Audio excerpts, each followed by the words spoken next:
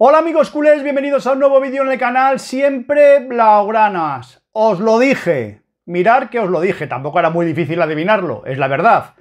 Ya os comenté hace unos días que estaba seguro de que eh, en un partido complicado eh, ante el Athletic Club de Bilbao en San Mamés y con el Madrid a nueve puntos, eh, nos iba a caer de árbitro o Gil Manzano o del Cerro Grande o Mateu Laoz. Gil Manzano. Gil Manzano arbitrará el partido, intentará robar, mejor dicho, el partido ante el Athletic Club de Bilbao al Barça. Eh, que se prepare Lewandowski, que no se suenen ni los mocos Lewandowski, que no, espero que no tenga catarro, porque como se toque la nariz porque tenga algún moco, nos lo vuelven a quitar tres partidos. Y encima en el bar tenemos a José Luis González González, otro ilustre eh, en pitar, o en no ver nada, mejor dicho, en no ver nada en el bar cuando juega el Barça, ¿no? y sin embargo, pues siempre favorecer en todo lo posible al Madrid cuando está en el bar.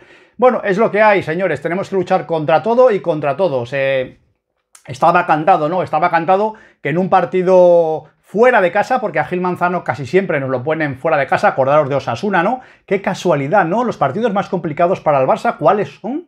Durante el año, Madrid, Atlético, Osasuna, Atlético Club de Bilbao, son los partidos teóricamente más complicados por la dificultad de los, eh, de los equipos, por eh, esos campos, eh, San Mamés, Pamplona, partidos y campos muy complicados, muy hostiles, no siempre también, no solamente contra el Barça, sino contra todos los equipos.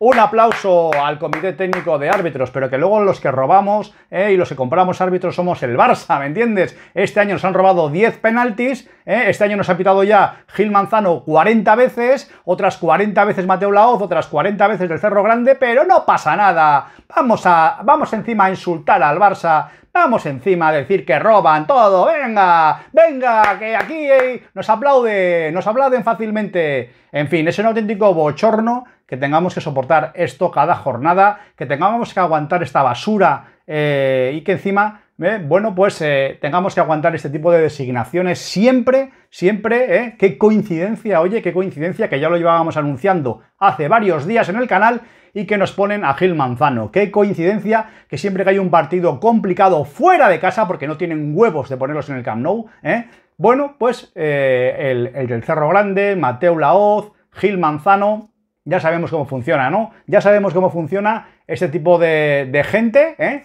Que luego encima ves a toda la caterva de youtubers del Madrid llamando corruptos al Barça, ¿eh? cuando han sido ellos siempre favorecidos por el Comité Técnico de Árbitros desde toda la vida, ¿eh? desde tiempos inmemoriales, pero encima ahora tienes que tragar con esta mierda y luego, bueno, pues nada, oye, te ponen a Gil Manzano que nos va a intentar robar hasta en el carné, espero que en el vestuario lo tengan todo cerrado bajo llave, porque si no Gil Manzano también es posible que entre allí, así que bueno, pues eso es lo que nos espera, ¿no? Eh, vuelvo a repetir, Xavi a Lewandowski Vamos, eh, ni que se lleve un pañuelo, ¿eh? porque como se toque la nariz, nos la prepara otra vez. Y por supuesto que no toque a nadie, que deje pasar. Cuando venga un, un, delantero del Atlético de Bilbao, ni nos acerquemos. Que pase y meta gol, porque si no nos van a, van a sacar roja, cada falta va a ser tarjeta amarilla. Ya sabemos cómo funciona este lamentable árbitro, este lamentable personaje, que por supuesto no es casualidad, no es coincidencia que nos lo pongan eh, en un partido complicado. Eh, y antes del clásico, veremos a ver si no nos expulsa a alguien. Cuidado con esto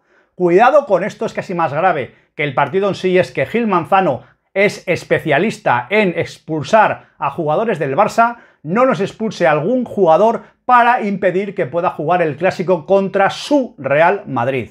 Cuidado con esto porque aquí no solamente nos puede robar en un partido, no solo puede manipular el resultado de un partido, sino también el del siguiente. No es casualidad, ¿eh? no es coincidencia que además nos lo pongan antes del clásico. Esto es el bochorno de liga que tenemos. Esto es el bochorno de federación y de comité técnico de árbitros llevados por eh, Rubiales y el bochorno de liga con Javier Tebas que nos va a denunciar, que el Barça es una mierda, que no vas a poder fichar a nadie. Esto es lo que tenemos que luchar cada jornada, ¿eh? Para encima tener que aguantar a monigotes ¿eh? y a tontos de, de, de baba, ¿eh? Hablando de que el Barça roba o de que el Barça es un equipo corrupto. ¿Me, entendéis? ¿Me entendéis qué nivel tenemos en esta liga? ¿Me entendéis qué nivel tenemos en esta sociedad? Que es lamentable, que es patético, que es auténticamente bochornoso, ¿no? Bueno, pues nada, chicos, hala. A sufrir a Gil Manzano este fin de semana y a esperar que no nos expulse a Lewandowski para que no pueda jugar en el Clásico, porque parece que Lewandowski va a jugar eh, en Samamés o que no nos expulse, yo que sé, a Cundé,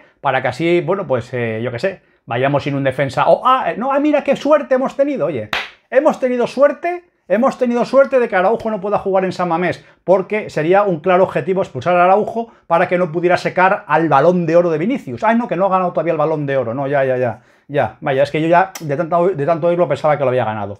En fin, chicos, nada más. Lo dejo aquí. Dejadme vuestros comentarios, suscribiros al canal si os gusta, darle like, darle a la campanita y nos vemos en próximos vídeos. Un abrazo a todos.